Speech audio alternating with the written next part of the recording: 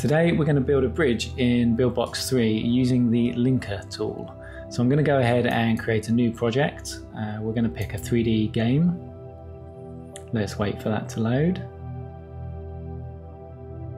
Okay, uh, so I'm going to go straight into the 3D world and this block here um, I am going to use as uh, as the starting point. It's kind of the launching platform uh, for, our, for our bridge. Uh, let's get this on at about three and we'll make it a bit taller, uh, say three, maybe two there. That should be that should be tall enough for us. Um, and we'll put that at two.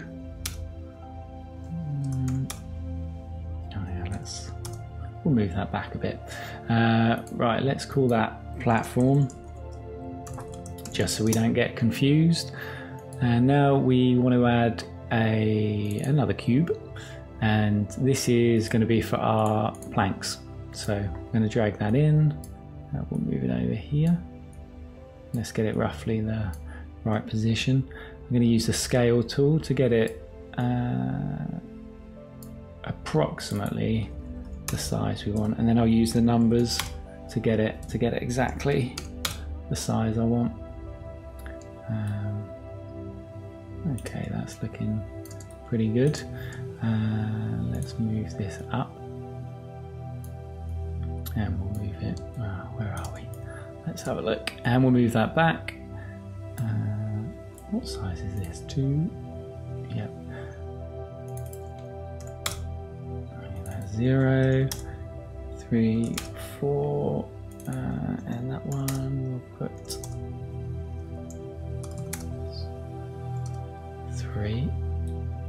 Okay, this is looking pretty good. Uh, let's just move that down a touch. 3.7, 3.8 maybe. Okay.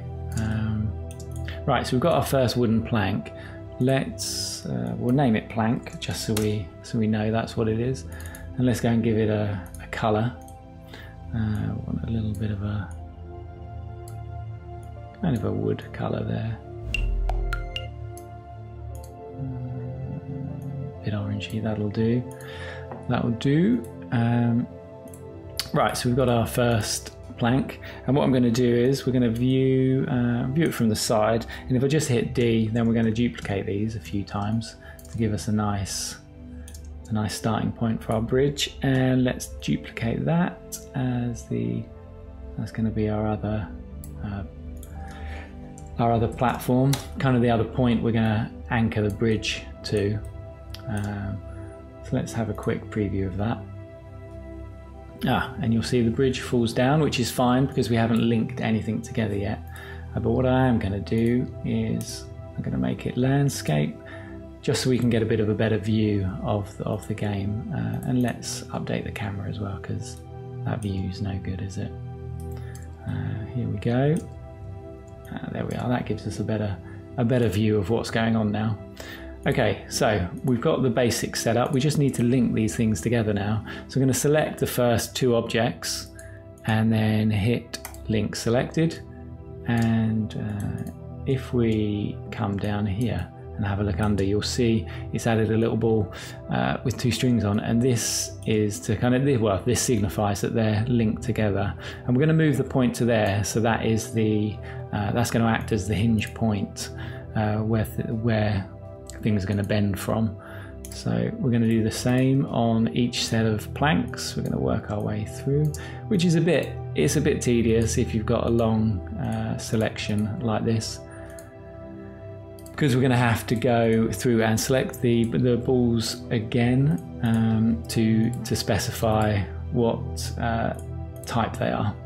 But we'll get to that in a second. Uh, right, let's just go under here. We can move that up.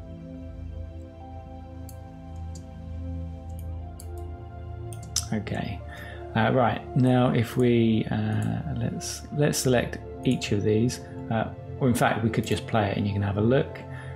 Um, that's not uh, that's not quite the effect we wanted, but you can see they're all now linked together. The problem is uh, the the two end points are not uh, are not anchored. to the ground, they're still dynamic.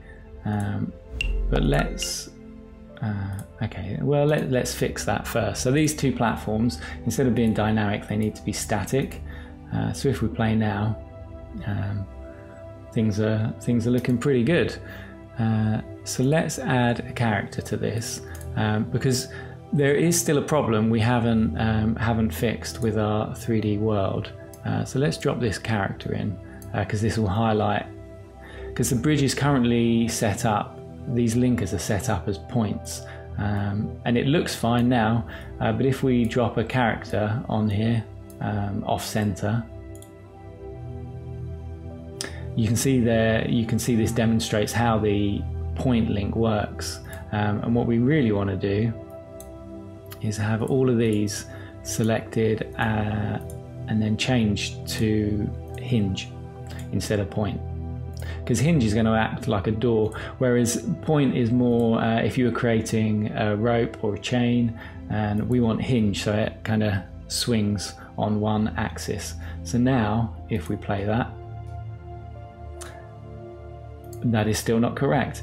And that is because the hinge is on the wrong axis. We actually want that x axis. Sometimes it's a little bit of playing around um, to get exactly what you want. But there we go. So the ball, so it acts like a kind of more like a suspension bridge should act, uh, which is which is what we want for our game. Um, I mean, having it roll like that is pretty good. If your if your game was more freeform, it could be quite a fun game mechanic. Um, but for for this example, we do you know we just want the straight um, a, a, normal working bridge. So uh, I'm going to set up uh, some controls for our character quickly, just so that uh, so that we can move him around onto the bridge and we can we can just check it works. Uh, this is not going to be anything fancy, just uh, straightforward left and right. So we'll call that left button, and this one is going to be our right button. Um, don't need that. Go back to our 3D world. Going to go to our character, and in here the controls we want to drag in uh, two UI buttons. So, uh, and that's going to be the left button, and this one is going to be the right button. And we need some movement for those. So we're going to use the move node. So when the left button is pressed, we're going to move uh, at a rate of 1.5 and we'll just duplicate that uh, and when the right button is pressed we're going to move uh, minus 1.5 now we'll check. I think these parameters are correct the directions but let's have a look. Yeah. So there we go. So you can see left and right hand side of the screen moving back and forth. There we go. And he rolls across the bridge. Um, now so that's all set up. There are uh, a couple of, before we wrap up this tutorial, there's, there's a couple of uh, neat little things um, you can do with regards to the mass. Now the mass is how heavy something is. So uh, if we made these planks that give them a mass of 10, you'll notice they're a lot more, uh, they act a lot heavier. Uh, let's pop those up to 30. So you can see they're a bit springy there. Um, but I'm going to leave them on two. Uh, and let's make our character heavier. So let's we put him up to 30. Um, and now when uh, he goes on the bridge, uh, you should you can see he's a heavier object and he moves um, the boards more. Uh, whereas we go back down to one, you'll see he hardly he hardly moves moves moves it at all. So this is this is pretty cool the way you can set um, you can play with these physics uh, for for these objects. Yeah, there you go. Let's uh, let's make let's go up to 100.